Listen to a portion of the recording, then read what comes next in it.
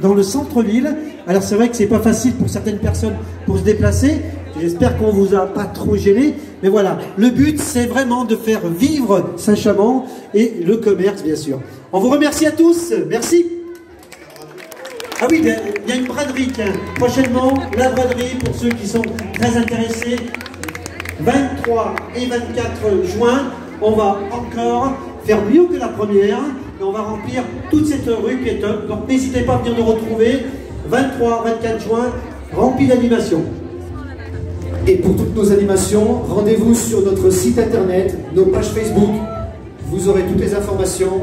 Venez, vous avez un agenda qui est partagé et vous allez avoir toutes les informations. Consultez-le. Allez, merci à tous. On se retrouve à la buvette pour en discuter. Merci, bonne soirée et continuez.